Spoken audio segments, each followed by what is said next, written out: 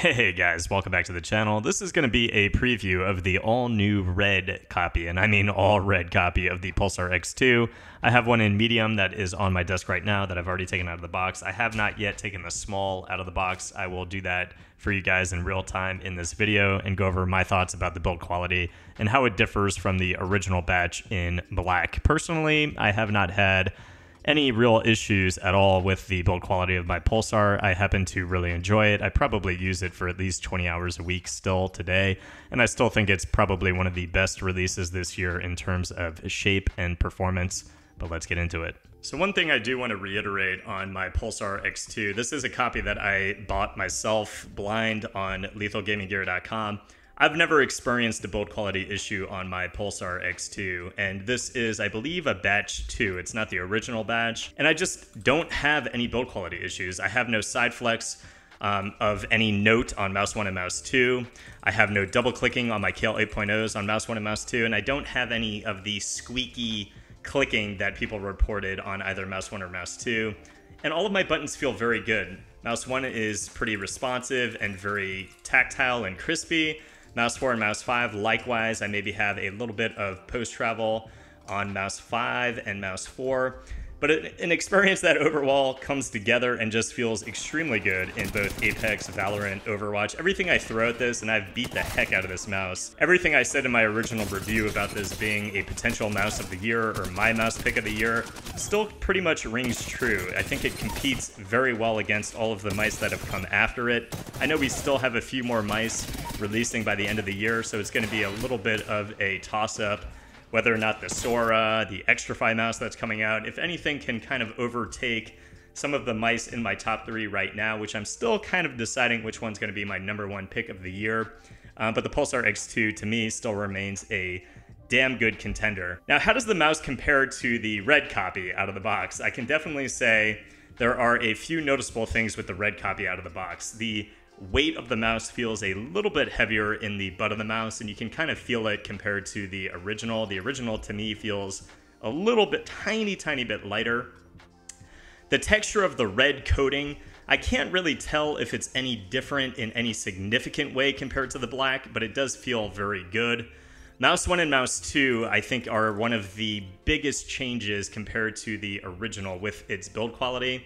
My original mouse clicks feel extremely good, very responsive, very poppy, and you can hear them. There's just a little bit of an inconsistency with my left click and my right click.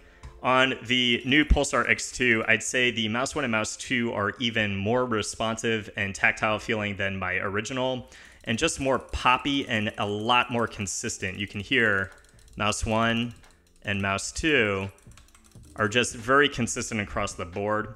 I've also noticed that the encoder, the scroll wheel, actually feels a little more, just a better build quality feeling on the scroll wheel when you are kind of aggressively scrolling up and down. It actually does feel better and a little bit more uh, tactile feedback on the new copy compared to a lighter scroll on the black. And again, I don't know if this is going to be consistent across the line, um, but this is just what I feel on my particular copy after taking it out of the box. Like Mouse 1 and Mouse 2 that feel a little bit better on my red copy compared to my black copy, the side buttons actually feel better as well. The pre and post travel are not as significant as my black copy.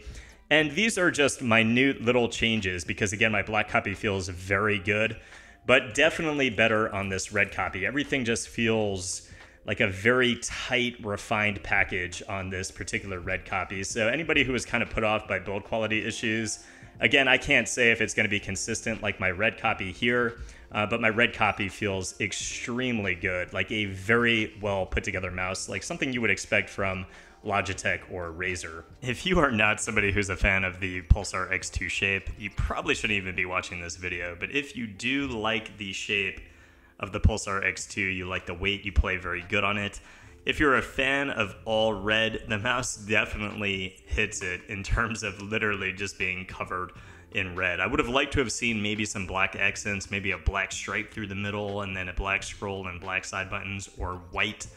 Um, I think something kind of offsetting just the all red would have been kind of cool. Um, but we really haven't had an all red mouse with red accents on the side buttons and the scroll wheel, so it's pretty cool. The only area of white on the mouse is going to be on the PCB as well as the mouse skates. All right, I told you guys I was going to unbox my copy of the small, literally give you guys my feedback as I am testing the mouse right out of the box. And just so you guys know, again, it, it is still Kailh 8.0s. They haven't changed the switches and it is still a TTC Gold encoder on the scroll wheel. I do just want to let you guys know, again, it just feels like a little bit more of a refined experience on my medium compared to my black medium. So taking this out of the box, you guys can see, of course, again, you do get a um, nice little unboxing from Pulsar. I mean, their, their packaging is pretty on point. You get, um, I believe in here is just the cable, and then you do have the USB receiver in here. So actually a pretty cool package. I think everything is pretty well put together and looks pretty damn cool. But when you get to the overall build quality of the mouse, oh damn. Um, so this actually feels already pretty damn good. Mouse 1 and Mouse 2 feel great, very responsive and poppy. I would say my Mouse 1 feels a little bit inconsistent compared to Mouse 2. You can almost feel or hear that Mouse 2 gets a little bit higher pitched than my Mouse 1. I have no switch grinding of Mouse 1 and Mouse 2. The scroll wheel feels actually still the same as my medium, feels awesome uh, with that TTC Gold encoder. Mouse 3, very spammable.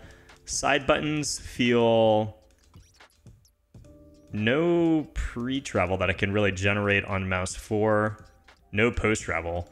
And mouse 5 is actually the same. So the side buttons are definitely better on this copy than my uh, pre-production sample that I had in white.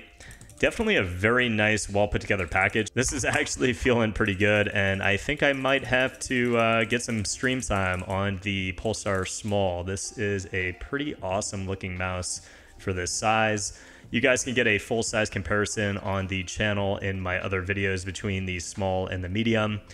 Over time, I can definitely say the medium is definitely the better fit for me. I have fun on the small. I'm just a little bit more comfortable with long-term use on the medium. I play roughly the same on both, a little bit more aggressive with some of my angles on the small, um, but I think, again, more consistent on the medium. So I'm going to stick with the medium as one of my main picks.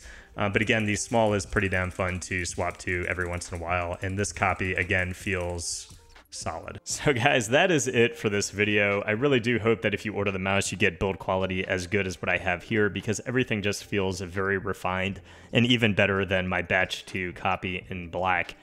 I really like the Pulsar X2, and as, as a reviewer, I hope that when I recommend something, it gets to you in the utmost perfect build quality so that you can enjoy in the same experience that I am trying to convey in the video. If you guys order a red copy or you order the green copy, I hope that the build quality is, is as good as what I have in my hand because it really is an enjoyable experience. I hope that helped, guys. If it did, please leave a sub to the channel, and I'll see you guys in the next review. Peace.